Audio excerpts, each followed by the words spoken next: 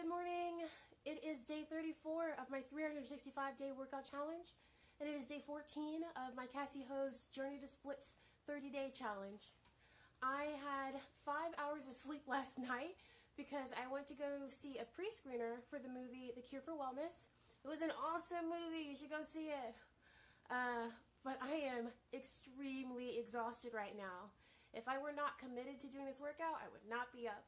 So I hope that we all get to this level of being so committed that you get up and work out even when you're extremely exhausted. Today I'm going to be doing the six moves for the stretches and then I'm going to do some self-led stretches just to help me wake up for my day. Thank you for understanding my need to relax. Okay, so we're going to get into our first stretch for today, and that is hands behind the back and then tilted forward. I've already lotioned up the sides of my collarbone so that my skin will be able to stretch. The deeper stretches you do, the more you'll need to moisturize your skin because you'll be doing deeper and deeper um, stretches. So your skin will be stretching more. Let's go ahead and set the 60 second timer. you can tell I'm like a little out of it. And begin. Last night I kept waking up because I had a nightmare. Um, I don't know if it's movie induced or real life induced, but I dreamed that somebody sent me a message saying that my mom had passed away in the night and they needed me to go like handle her affairs and I was just heartbroken immediately. Um, you know, I have a good relationship with my mom compared to a lot of relationships in America. I would say it's good compared to that, so-so relationship with my siblings right now. Hoping to get better with that. Uh, but in that dream, after I got that message, all I could think of is how I wished everything was better, and how I wished I worked harder to make our relationship stronger. Um, I went to my mom's house and I saw all her stuff, and I thought, oh my god, how will I like move all this stuff? How will I sell all this stuff? She just has so many belongings and it overwhelmed me. And I thought, man, when people die, they just leave everything behind. And then I looked at my siblings who I wasn't getting along with that well, and they were not speaking to me, and that really hurt me too because I was like, we need to be together right now. And it never had been so real to me how much we need to be together as it was in that dream last night. And I just, I woke up in the middle of the night and I was crying and I was crying hard in my dream, just like so much sorrow. And it made me think, I really love my mom and I really need her in my life. And I thought about my siblings and I thought, I really need to do better with how I interact with my siblings because they're my family. And I don't have a huge family. And it's just, man, yeah. It, I just, I woke up feeling like I need to do better. And maybe that was my own little mini wake-up call, but I'm going to take it seriously. It could have been because of the movie, and I don't want to do any spoilers, but there were like some references like that in the movie. Um, I'm not going to tell you what kind of references. You have to watch the movie to find out. uh, or it could be because my dad passed away in April and it just, you know, sometimes people tell you that you never know what you've got until it's gone. I was kind of arrogant and I was like, I know exactly what it would be like to lose my dad. He's been on his deathbed plenty of times.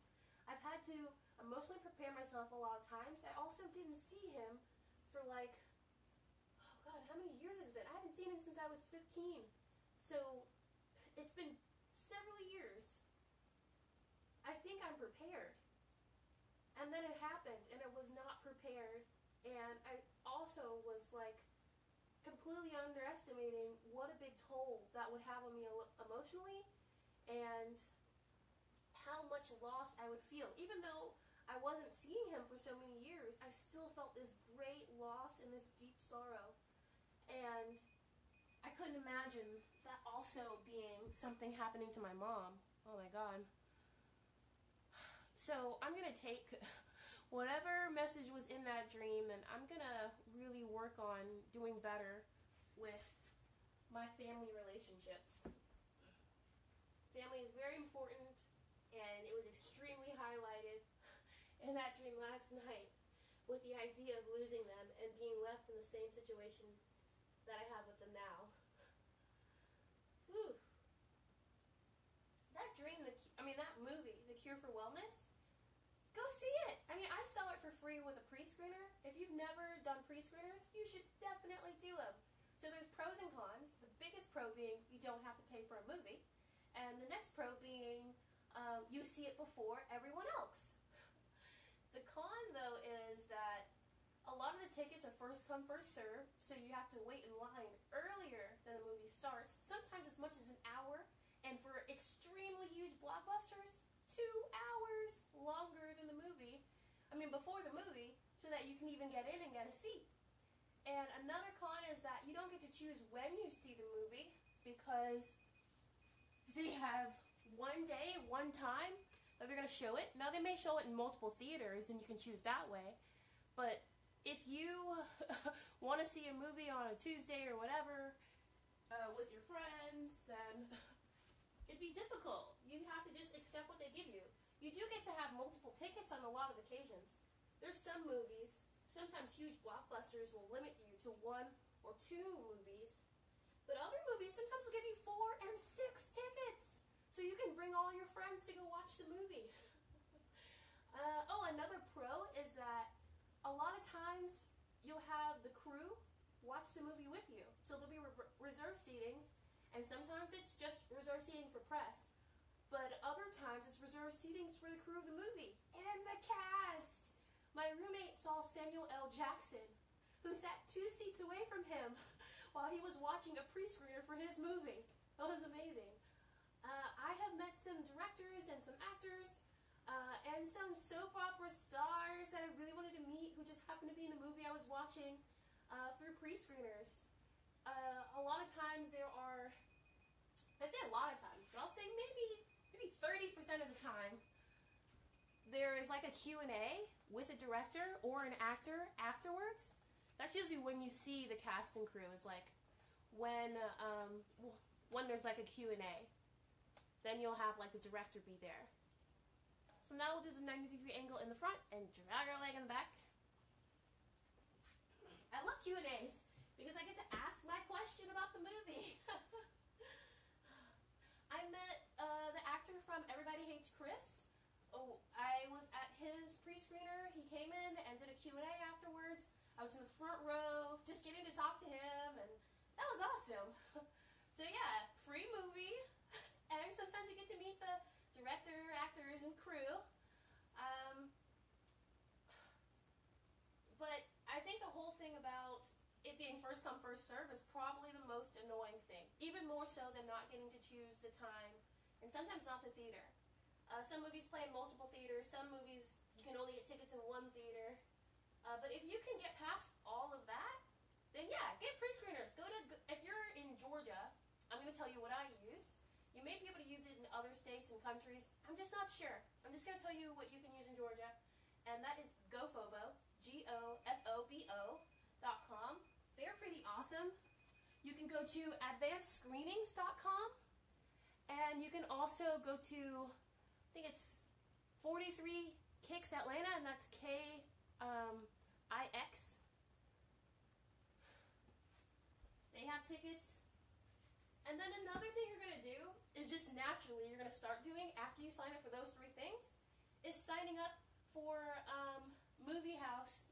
Well, not movie house. What do they call it? Movie studio websites. Like you're, you're going to sign up for Paramount Pictures and for Fox Searchlight and for you know all the other movie houses that produce movies because they're the ones that are giving out the tickets in the first place. Uh, so you'll end up signing up for them because they'll give you offers to sign up for them. If you have a Citi card, C-I-T-I, that kind of card, uh, then they send out tickets as well. I don't have a Citi card, but I keep seeing their offers, and I'm like, man, why am I getting all those offers? Uh, sometimes radio stations will put out free tickets, but if you just sign up for GoFobo, Advanced Screenings, and 43KIX uh, Atlanta. Is that what it's called? Yeah, I think that's what it's called. Uh, then you're gonna get all the other offers, and you'll be able to choose at that moment if you want to continue with them.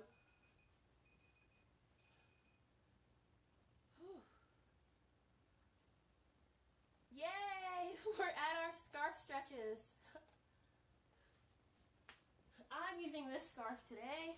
My purple and gold one.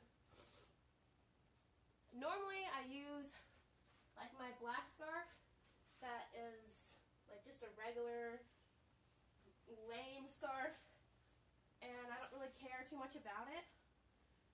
But yesterday I wore that scarf uh, to see the movie and in the first three minutes I started crying because there was a scene that just hit really close to home. And I had no tissues, and I was like bawling hard. Um, so I just dried into that scarf, and I even like was blowing my nose in that scarf. I was just like, this scarf is a tissue now, and so it's in the wash, and I just can't use it today because it's not ready to be used.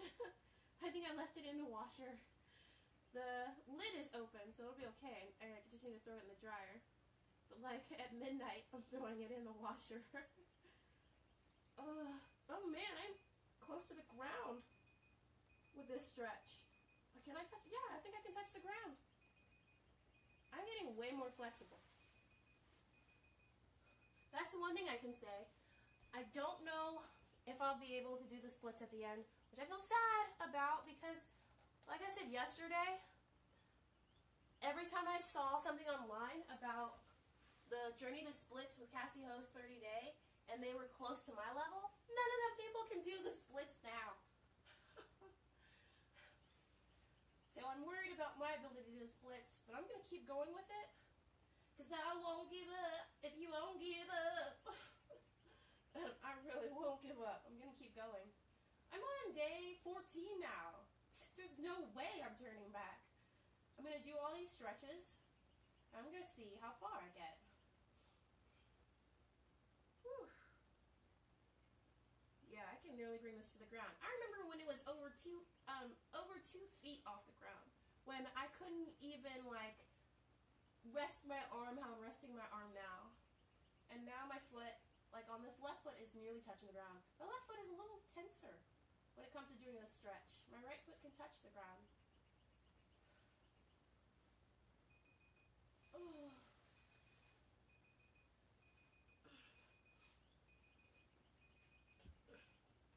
All right, yay! We get to do our sixth stretch, which is our day 14 stretch, which is just opening your legs up. so it's hilarious. I'm gonna open my legs towards the wall so I don't shine you, shine you like the sun. Okay, reset the timer. I always like to drink water right before my sixth stretch.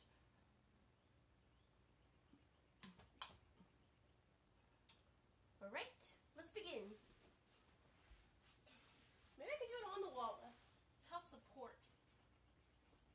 So this is our sixth stretch. It's opening our legs up. And you don't even have to put your hands here, but I'm going to put my hands here just to assist. Woo! Feel it.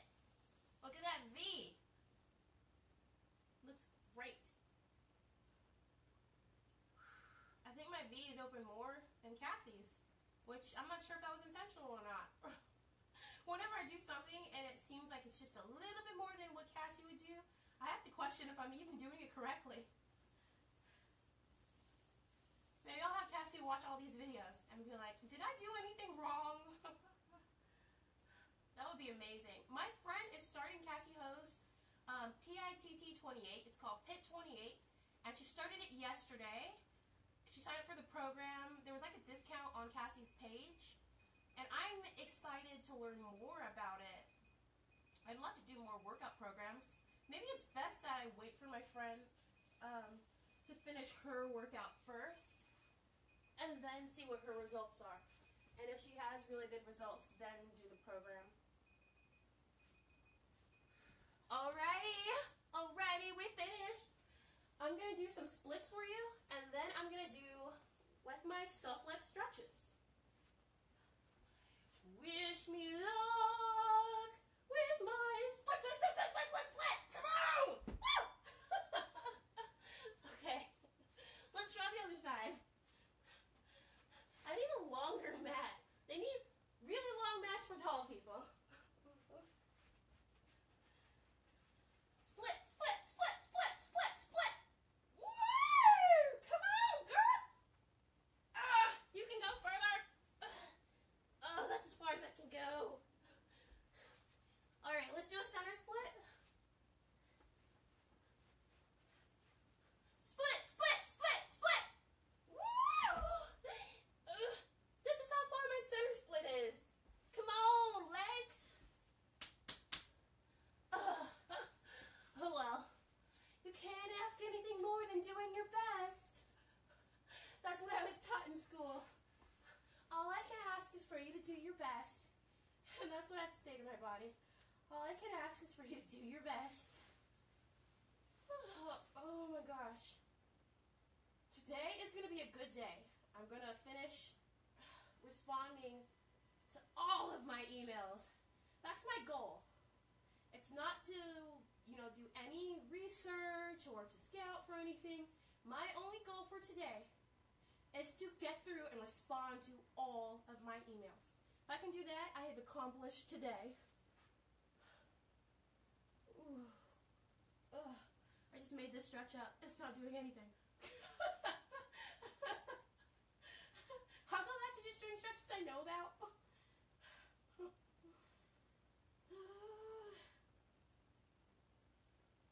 Oh my gosh. I do feel fitter though. In the mornings, I'm not as bloated as I normally look. Like my stomach isn't pouching out. And I feel like working out every day is slowly making me look more fit. Which is probably the safest way because if you lose a lot of like body mass in a short amount of time, you'll have saggy skin. And so me losing it slowly is gonna have like tighter skin instead of that loose skin. Yeah. I'm okay with a slow progression. I'll be doing this all year.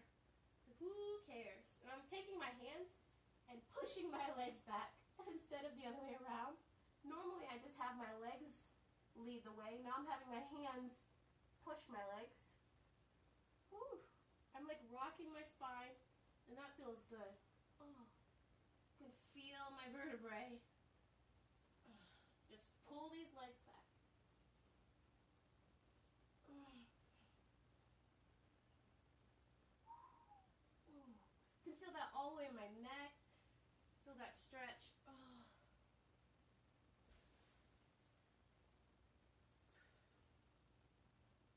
Oh.